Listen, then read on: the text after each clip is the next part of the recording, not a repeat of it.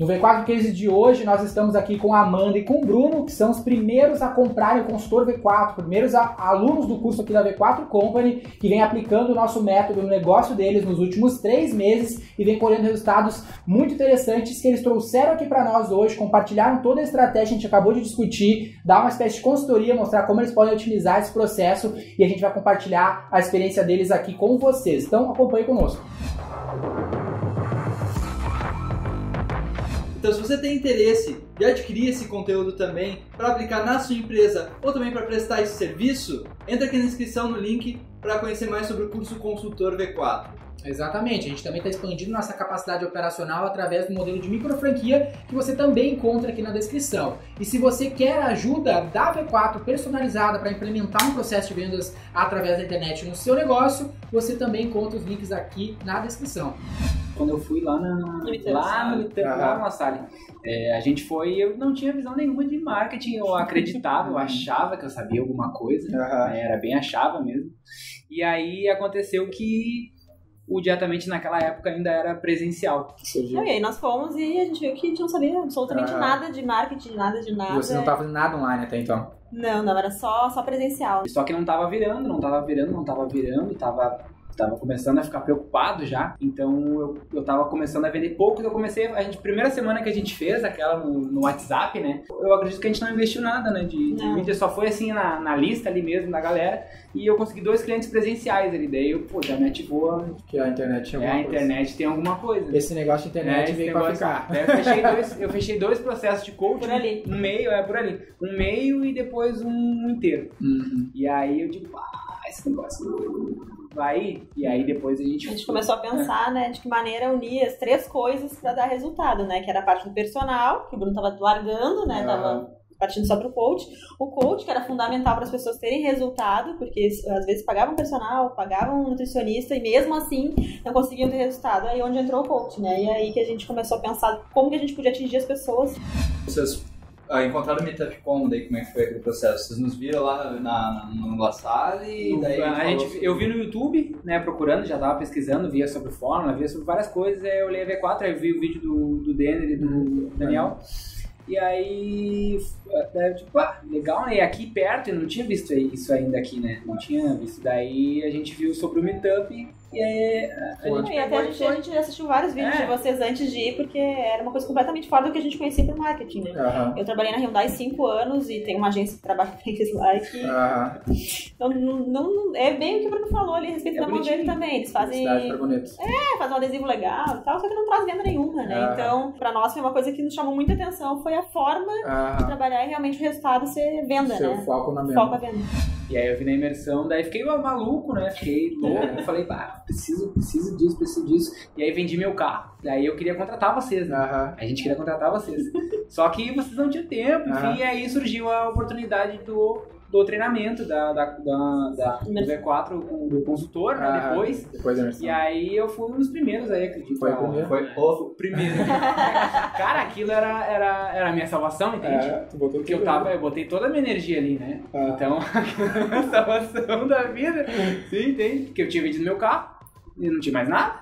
E aí começou a sacar e começou a fazer. E aí quando a gente começou a fazer, daí a Amanda tomou a decisão não, de sair. Sair da Hyundai pra gente poder realmente se dedicar a isso, porque... Aí tu saiu antes de vocês terem validado lá o online? Sim. Sim, saí antes, eu saí, é, saí em outubro Caramba. e a gente já disse, não, vamos sair e poder se entregar de corpo e alma, porque se eu é. ficasse lá e o Bruno atendendo aqui, personal aqui, não sei o que, a gente não consegue não se dedicar e não, e não vai dar certo nunca. Ah, hoje é dedicação integral, né? é. né? A gente trabalha das nove da manhã, meia-noite, uma hora, o primeiro lançamento que a gente fez, a gente usou o WhatsApp, meu Deus é. do céu, foi um caos. Vocês já fizeram Quatro. quantas turmas? Quatro, né? E todas elas com a mesma estratégia ou foi sem... Mais ou menos. Mais ou menos. Mais ou menos. A primeira a gente usou o WhatsApp porque a gente achou que as pessoas tinham que receber os avisos das aulas ah. e a maneira que a gente encontrou no primeiro foi o WhatsApp, foi um caos. Mas tá, a gente tinha lá de resultado, né, que a galera quer saber, a gente começou com zero, uhum. que era quando vocês descobriram meio que, né, tava só fazendo offline, online não tinha nada. Sim. Primeira turma, o que, que tu conseguiu fazer de grana? A primeira turma a gente investiu 500 reais. 500 reais.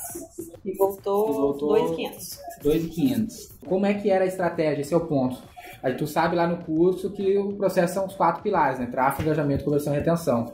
Desses 500 reais, o que, vocês fizeram para atrair público? A gente investiu só, no, só, só em anúncio do Facebook Ads. Tá. Na época, eu acredito que não tinha aberto ainda algumas aulas do Facebook Ads. Eu sabia o que eu sabia. Ah. Então eu, eu peguei e chutei na, no, só na fez. loucura. Na minha cabeça, 300 pessoas no grupo era Excelente. Que a gente fazia por, cada, por cadastro, com, por cadastro com não, era, eu media por, por clique. Ah, por clique. não tinha o Pixel muito aprendido Não tinha, ainda. não, não tinha nada. Não tinha entrado no Pixel, não tinha nada ainda. O que que tu anunciou pra essa galera? O que que o cara tinha que fazer? O anúncio era perder gordura, entendeu? Era minha foto de antes e depois, Aham, e você Aham, quer, entra Prova era social, Vocês usaram muito prova social, já tinha visto isso no prova Já social, tinha sim, visto sim, isso? eu tinha visto no curso. Tá, e aí essa galera entrava num grupo, que é o que, que a gente chama lá de engajamentos. Aham. Por que que vocês optaram por fazer um grupo no Face, não uma landing page, fazer por e-mail?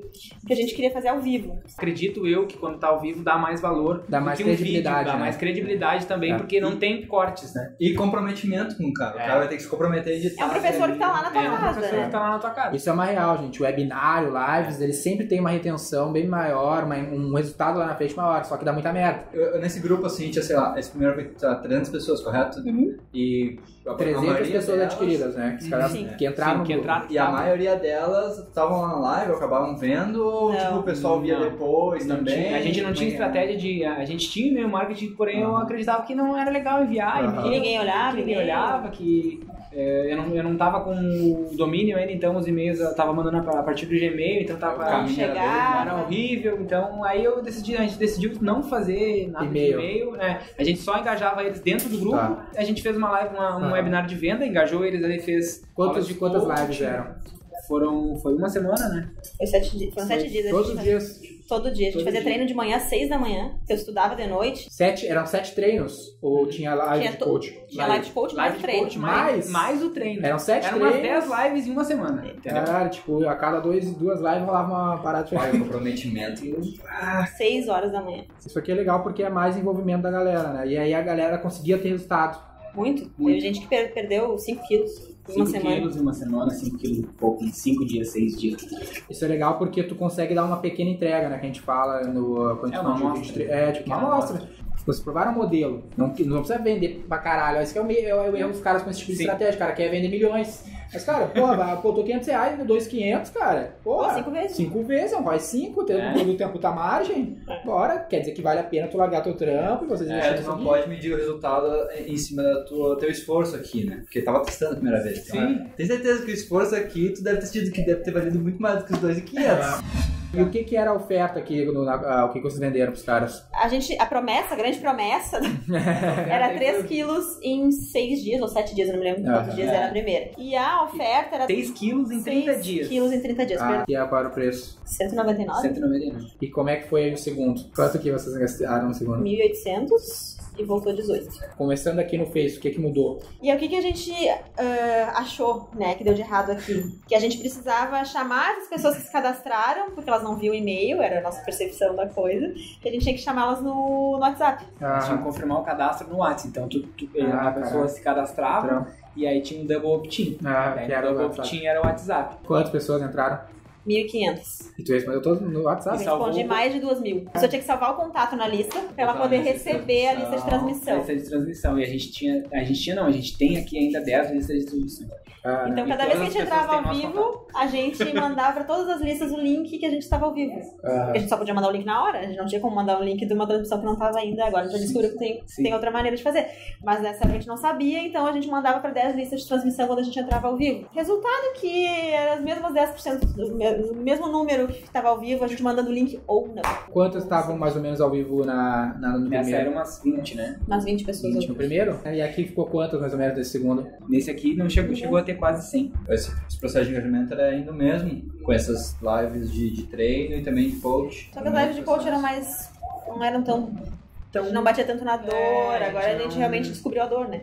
A gente usava umas dores muito fracas, assim, porque na Vamos ver verdade. quantos mudou no resultado. Quantos vocês venderam? 18. Sim. Vocês fizeram o 70 dobro do resultado, aqui, né? né? cara? Vocês fizeram o dobro do resultado. Talvez o lance do AS tenha aumentado o engajamento. Que vocês poderiam ter, ter- teoricamente, se tivesse feito algo, poderiam ter vendido o dobro no outro. Se vocês tiveram a mesma participação, né? Então a galera não quer dizer que isso vai mudar na, no engajamento aqui na live, mas o cara vai estar muito mais afim no final na hora de comprar, entendeu? Porque já tá, tá, tá bem mais próximo de ti. Qual era a oferta aqui? Era a mesma? Não, aqui aumentou pra 299. 299. 299 hum, já. Foram conseguindo aumentar os tickets é. também. Agora Cada um a gente foi aumentando 100, né? até a gente manter os... os... 478. Sem retenção também. Sem uma estratégia de retenção, vendia nada pros caras. Quanto que foi o terceiro? A gente investiu 4.300 e voltou os mesmos 18. A gente perdeu a performance, o que que mudou? A aquisição foi, foi com vídeos, foi com, foi com vários anúncios ao mesmo Quantos tempo. Quantos participantes tu conseguiu? A gente conseguiu 3.800 no grupo. Tá, e aqui vocês, nesse segundo, vocês mudaram a estratégia das lives ou continua a mesma? Não, é, a gente fez o, aquela, aquele estilo de, de CPL, né? Faz o primeiro e tal, fala com... Mudaram o papo, que é, fizeram papo. sete. Sete lives de? Dez lives a gente fez. A é que a gente tem treino todos os dias. É, e a gente tem mais. Sete dias de treino, mais as aquelas outras. É, são seis treinos e três, e três lives. Três lives. E mais a de venda. Fizeram o mesmo papo, só mudaram um pouco o discurso. Isso. Mesma estratégia de quantidade, só mudaram um pouco o discurso. Uhum. Tá? E nessa de 3.800 vocês cortaram o WhatsApp. Sim. Sim. Adicionaram o e-mail ou não? Sim. Sim. Nessa? Usar, sim. não tinha, né? Não tinha. E qual foi os resultados que teve no e-mail? Algumas pessoas agora começaram a responder mais. Porque agora o e-mail tá. Agora o e-mail tá bombando, né? E a estratégia das lives é a mesma. Elas são sete dias, mais, do, mais sete, sete treinos. É, foram cinco, dessa vez foi menor. Cortaram dessa de, de, de agora. Não, na verdade foi por causa do. Nem... Foi por causa do carnaval. Do carnaval que a gente. Ah, a gente não deu um treino que a gente dava antes. Cortaram um desses treinos nessa um última. Um desses treinos nessa última. Hum. Aprofundou mais o conteúdo e tal. É. Entregou mais. Várias coisas que vocês testaram dessa vez, o canal deve ter dado uma uma atrapalhada nessa questão, entendeu? É, essas coisas assim de lançamento que acabam, que a gente sempre fala, né, que pode utilizar uma estratégia aí de, de abre e fecha turno, mas qualquer coisa fora do padrão já estraga. Né? Começo de mês, final de mês, né? Se o cara tá grana no bolso ou não, se tem alguma feriado, coisa assim, sempre isso muda. Então é, é super sensível. É. Daqui a pouco, sei lá, vale repetir porque é outro período ou não, ou vale testar outras coisas. Então tem que estar sempre em cima dos números. Aí aqui não mudou mais nada. Só tirou o WhatsApp, deu mudado no estilo dos treinos e, e aumentou 100 pila aqui no ticket. É. Foi pra 399? Não, foi pra 478. 478 ah, Dobrou, né? Aí eu, aí eu acho que talvez o WhatsApp possa ter feito diferença mesmo, pelo que eu de vocês. Por que, que vocês, com mais gente, conseguiram vender a mesma coisa? Uh, eu acredito que o grupo tão grande, né, tem atrapalhado até tem uma confusão. Tem tá, uma confusão, tá. você não acha as, as coisas. Não acham os treinos, não acham as aulas, né? Que a gente não vai chegar isso simplesmente vender no final, né? Porque senão, se a pessoa não vê. Só maioria, faz um treino e assiste a maioria, a última. Eu acredito que, que pouca gente vê a, as aulas dos CPLs que, que a gente fala, explica ah. que aquilo ali é uma amostra, que no final vai ter. Porque daí o cara não vê esses vídeos, eles só fazem os treinos e chega no final ele só, ele, a gente vende para eles. Uhum. E eles acabam não vendo os treinos. Então uhum. é, a gente estava pensando na, na situação de fazer, em vez de fazer um grupo, fazer um blog. Uhum. Né, onde a pessoa não tem, não dissipa a atenção dela, ah. ela só tem a opção de ver as aulas. Mas e, gravado. É, gravado. Em um ambiente ver as aulas, um ambiente nosso. Onde Por que, só... que tu não faz live num ambiente externo, tipo webinar? A gente pensou também que a gente vai fazer isso. Outra coisa, o cara assistiu a primeira aula e não assistiu a segunda, o que, que tu faz? Remarketing. Sim, não fiz remarketing, não, não fiz remarketing nada. Não fez remarketing nada. Depois que, que, que, finalizou isso aqui, que eu botei os. Eu, que daí eu, eu, me inscrevi no, no coisa do Croco, no lançamento do Croco. Uhum. Daí eu digo, caramba, velho, a gente, investi, a gente investiu.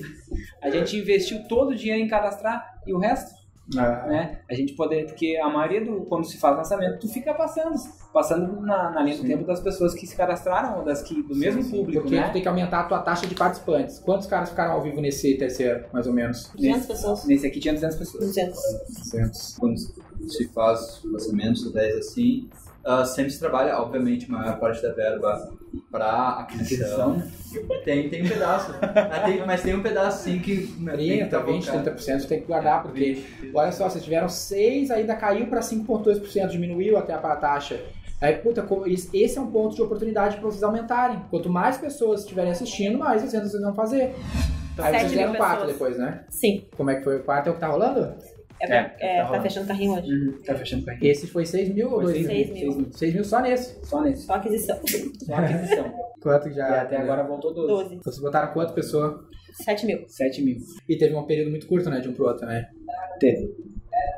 É, a gente... Era um público diferente. Mas não entrou, não entrou ninguém. Não entrou, Ah? Tu excluiu? Excluiu Santa Catarina e Paraná. Excluí Santa Catarina e Paraná. E a gente não deixava ninguém entrar. A gente teve um trabalhinho só de olhar de onde é que a pessoa era. É. Tá, mas tu não excluiu, tipo, pelo, na, na hora de criar o anúncio, tu excluiu o Estado ou todo mundo que tinha acessado a tua página? Só o Estado. Só o Estado. É, mas tu pode ter perdido no orgânico, né? Se o cara, se eu vi a tua live e eu compartilhei com a galera, a galera não é do Estado. Já era.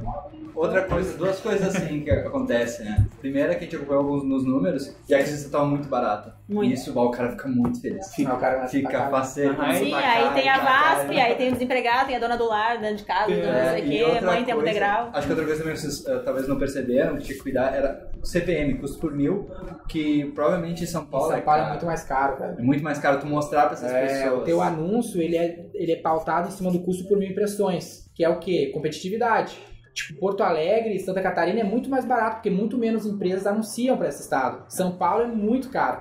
Porque, porque todo o Brasil anuncia para São Paulo. Então vocês podem ter pagado praticamente a, o, quatro vezes mais para alcançar o mesmo número de pessoas. E não quer dizer que aqui, quando tu fala em CPM, tu não compete em cima só dos outros produtos parecidos com o teu. Trabalha com tudo que o, pessoa, que o cara gosta. Tu vai ter Se contra é... a Volkswagen. A Volkswagen tá aumentando o carro e tu... é, e, o, e, o, e o valor que eles estão botando é muito maior. Então acaba perdendo essa performance. Tipo, a gente teve a experiência de, sei lá, fazer uh, anúncio para academias aqui da região de Porto Alegre, São Paulo e Sapucaia do Sul. Sapucaia, meu, a gente... Bombou. Nossa, era fácil. Competitividade é muito baixa. É muito São barato. Paulo, com bem mais investimento, bem mais leads, não teve resultado. Outro detalhe é que o Santa Catarina e Porto Alegre talvez se identificou mais, o engajamento foi maior, o poder aquisitivo é muito. Não São Paulo, talvez não.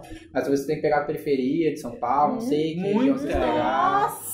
Então isso é um ponto, entendeu? Tu deveria ter uma página uma estratégia de segmentação de excluir, simplesmente. Tem como tu tá, eh, botar no público os que tu quer, menos aqueles que tu não quer. Então tu fazia para o mesmo estado, mas exclui quem já participou, quem já se envolveu no anterior. Aí tu vai pegar pessoas com o mesmo perfil na mesma região, mas que ainda não participaram. Então tu não, não, não precisa excluir apenas pelo Estado. Nem aqui, Na real, tu não excluiu, tu adicionou São Paulo apenas, né? Sim. E deixou de aproveitar tudo que já estava Como é que acontece? Já tu tem e-mail dessas galera aqui, desses 300 e 500? Tem 7 mil e-mails. Né? Soma tudo. Tu tá somando tudo no próximo ou tu tá excluindo? Não, não, é o que tu faz. É, eu, eu, a gente exportou ele porque o lead lovers eles cobram por, ah, por de lead, né? A gente tem 20 mil, tá com uma... A nossa conta tem, tem espaço pra... 40 mil. Não, 30 mil, tá? É, a, minha, é, a minha questão aqui é pega essa galera, upa no Facebook e como público, pessoas que já converteram, não sei o que lá, não sei o que lá. E excluir eles dessa galera aqui. Por que, que vocês faziam um grupo secreto? Tipo, pra dar mais valor? Pra dar um valor, né? Porque a gente fazia até perguntas, perguntas antes de entrar. entrar. O pessoal então, agradecia. a pessoa entrava no grupo e já obrigado, postava. Muito obrigado por me aceitar no grupo. E primeiro detalhe aqui que é legal a gente discutir é por que, que uh, você não acha que esse gap do preço influenciou? Se você estivesse vendendo por 2,99 ainda, será que não teria sei lá, 300 vendas. O pessoal achou muito barato. É. Até as que não tinham cartão. Até as que não tinham dinheiro. É que é 39,90, não é 478, né? Não tem limite? Não tem limite é que não, é, não tem limite. Elas não tinham, ou não tinham cartão, ah, entendeu? Era o cartão. Se elas tivessem cartão, elas compravam. Ah, então aqui, ó. É. Tem que usar o não Serasa. É. Por favor. É. Somente quem tem cartão. Isso. É, é para quem, uh, pra só explicar, o Serasa, eles oferecem uma segmentação de público né? Tu faz uma corporação, lá, manda teus contatos, eles voltam dentro da tua conta direto uh, alguns públicos baseados lá com segmentações deles. E algumas delas são a respeito se o cara tem ou não cartão de crédito, se ele tem interesse em cartão de crédito premium, se ele tem interesse por ativos de luxo, não sei o que lá, várias, várias outras segmentações que servem tanto para B2C, para consumidor final, quanto para B2B, para outros business. Então é, é uma ferramenta que é super importante aí. Uh, e, e, vale a pena ao menos testar esse tipo de coisa que é super importante. Ah, se a gente pegasse as pessoas que tivessem só cartão, a gente teria um pitch de vendas nossa, ah, bem maior. Pra vocês terem uma ideia, as pessoas que compraram, que já entraram lá, é, elas colocaram um depoimento dentro do grupo que ainda está aberto. Vale a pena, compre, faça um esforço. Difícil, ah. não, parem de achar desculpa que não tem dinheiro, que não tem o que. Vale a pena, a gente tá amando, não e sei o que. Teve gente que pegou emprestado com amigos, Sim. não sei quem, deram um jeito. Deram um jeito. Essa galera aqui, ó, também acho que esse lance do WhatsApp vocês deviam trazer de volta. Porque o WhatsApp traz talvez uma sensação mais pessoal. Aí o cara gosta mais, tipo, meu, tá me dando uma atenção pessoal. A gente fala também na hora de dividir o orçamento de mídia, vocês podem pensar, é aquisição que é o que vocês gastaram sempre, só isso, mas e a monetização. Eu preciso fazer esses caras comprar minha verba de mídia, eu tenho que separar esses dois estilos. Quais são minhas campanhas de aquisição, quais são minhas campanhas de monetização? Aí tu bota 70% a 80% em aquisição, que é o maior, aí de 30%, velho, a 20% aqui em monetização, que aí é remarketing, impulsionamento dessas lives, Aí tu vai fazer com que esse número aqui aumente. Porque tu precisa que os caras vejam, se os caras veem, eles engajem, eles compram no final. Sim. Então esse ponto já faz toda a diferença. Mas é, o bom é aumentar os pontos baratos de fazer ele lembrar que a live está acontecendo. Tem a notificação, tu tem o e-mail, mais o ManyChat. É. ManyChat tem 90% de sei quanto é que estão as taxas lá, mas não deve ter mais de 30% de abertura no e-mail. É. Fora que teu público é um público que provavelmente não, não é tão é. presente no e-mail. Outra, outra coisa que a gente também sempre tenta desviar é de ficar dependente da ferramenta. Entendeu? Então, se lá o grupo do, do Face, eles mudarem alguma coisa, o Face mudar alguma coisa, já era. Tu pode é. perder visibilidade, tu pode perder um monte de galera que poderia ver ou não. Por isso que a gente sempre uh, uh, uh, tenta utilizar um ambiente que seja teu. Mas e, a, e, aqui, outro detalhe é essa oferta que eu acho que não tá ruim, né, cara? É, eu, é, eu, a gente tava pensando que a gente entrega, por exemplo, o curso, o programa, ele, ele tem três aulas ao vivo, né, por semana, uhum. dois treinos e uma aula de coach com a gente por semana. Dentro do desafio, a gente dá 10 aulas ao vivo. Tem, a gente, a gente dá, entrega mais começa, ali do que no programa. A gente começa com um desafio é, oferecendo 3 quilos em 5 dias. E aí depois a gente oferece para a pessoa 10 quilos em 10 semanas. Então a nossa oferta é muito é pior do que o do que, é, o, que do que o desafio, entendeu? Cara, é, nossa, emagreci já 5 quilos, eu não preciso. Eu não preciso de... exatamente nada. Pô, 10 quilos em 10 semanas é vou, é muito tempo. Eu vou pro YouTube, que nem elas falam, eu vou pro YouTube agora e tá tudo certo, entendeu? Eu vou continuar emagrecendo, porque a gente dá, mostra para elas que elas têm que comer para elas emagrecer, a gente muda a mentalidade delas e elas emagrecem e elas veem que, pô, por que, eu vou comprar? Também a gente pensou não nisso. Preciso deles. Não, não tem valor a oferta. Não tem valor a oferta. A oferta fica muito pequena porque vão ser só três aulas. Já entregaram mais do que a oferta Muito, é. muito mais. Então a gente pensa que pro próximo é, a gente vai, vai entregar gravado algumas coisas e, a, e vai, ser, vai ter menos live e, ou a gente vai dividir em duas coisas, né? uhum. né? Fazer um com, um com, testar um com live e outro sem live, gravado. E, e aí a gente não tem uma estratégia de atenção, ou seja, toda essa galera que comprou não vão dar mais nenhum dinheiro para vocês, teoricamente. Toda a galera que tava aqui, que já passou e não comprou também não... Não vai ser retida porque vocês não estão fazendo nada pra, pra esses caras, né? Agora não, a ideia ah, era a fazer ideia... mais pra frente, usar esse público aí, né? Ah. Não agora. Por, aí que tá, a gente transformar isso aqui num portal de membros, quanto que dá a parcela? 47? 39,90. 39, 12. Porque o que, que eu vejo, assim, o, o, pelo menos a minha experiência com fitness é que a, o, a, você sabe, vocês vendem até onde eu sei, que o fitness, ele é, o cara que tem o resultado, ele precisa criar um lifestyle, criar o hábito, né? Assim, o poder do hábito. Então, se vocês. Porque se vocês venderem como um, um, shot, tipo, meu, vou te resolver agora e acabou. Aí, pô, eu resolvi, então já era. É. Não fica um ponto. É isso que acontece. Então, se, porque vocês criam toda uma sensação de pertencimento, uma comunidade que é legal, uma caralho. Que é por isso que a gente quer que o cara compre e entre num outro grupo. É. Exatamente. Aí que talvez seja interessante transformar num portal de assinatura. Porque, meu, a gente vai dar lives, sei lá, semanal para quem é assinante, vai dar a camiseta para quem assinar esse mês, vai dar lá o livro lá de receitas, vai dar, sei lá, uma live com nutricionista uma vez por mês, falando, sei lá, sobre tendência, respondendo dúvidas, pode mandar, vai ter fórum de discussão com o nutricionista respondendo, aí vocês vão dando robustez ao grupo. Porque, por exemplo, vocês podem fazer que nem a gente faz, cara, todo vídeo, toda live tem um pitch. Por que não? Meu, curtiu, quer, quer resultado agora, quer isso agora, quer a camiseta, não sei o que, assina lá, R$39,90. Aí nada... tu vai fazendo gente assinar na hora e tu sabe que tu tá traindo público certo ou não. Nada uh, impede disso que tá rodando. É, também não tá isso aqui. Dando, é o que a gente isso aqui tá pode ser um outro produto, um ticket maior, sei lá, alguma coisa diferente, sabe? Daí tu pode modificar, porque esse tipo de esforço tem que valer a pena. Tem que valer a pena. É né? só isso que a gente pensa. É. Mas eu acho que é isso aí, gente. Se a gente der a mudar, tem que pensar no negócio exatamente como esse processo. Tu vai otimizando, entendeu? As coisas que aí tu vai conseguindo melhorar. O problema desse estilo de lançamento que vocês têm feito é, é que tu demora demais para conseguir saber se deu certo ou não. Eu tenho que tentar reduzir, erro, né? exatamente, tem que reduzir esse, essa, essa curva de conversão para te conseguir errar rápido. Esse demora demais para errar.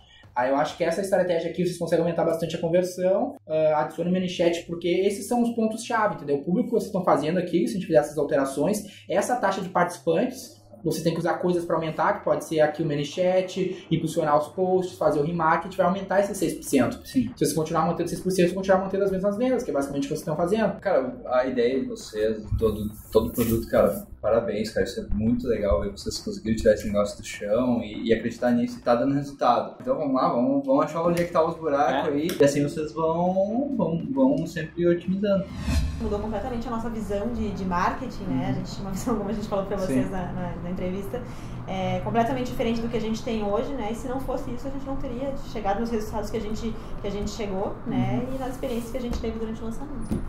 Fez toda a diferença em qualquer tipo de empreendimento que tu possa ter, é, seja ele online ou offline, caso você não tenha um processo de vendas pela internet, acredito que o curso da V4 vai te trazer com certeza um resultado extraordinário, que é o que a gente entrega para os nossos clientes, Sim. e você vai conseguir atingir muito mais pessoas com certeza. Então a gente indica e reindica também. A gente quer agradecer aí o pessoal pela, por essa consultoria, por todo esse vídeo, por todo esse apoio aí, tanto no WhatsApp, tanto nas redes sociais, que a gente sempre está marcando, sempre está junto. Não é acaso que a gente for, nós somos os primeiros alunos aí do curso, então a gente está realmente grato pela V4 e por toda a equipe por ter nos dado essa chance aí, ter nos ajudado a começar do zero e com certeza diretamente em V4 aí vai. Tamo junto pra cima. Isso aí. Obrigada. Se você gostou do papo de hoje, inscreva-se no canal para receber conteúdos desse tipo todos os dias. Exatamente. Se você quer compartilhar sua visão, tem dúvidas, deixe aqui nos comentários, compartilhe esse vídeo para mais pessoas aprenderem um pouco com esse conteúdo. E também dê seu like ou dislike para gente saber se ele está sendo relevante para você. É isso aí. Eu sou o Dani Lippert, fundador da V4 Company. Meu nome é Gustavo, sócio executivo da V4 Company. E o nosso negócio é vender o seu.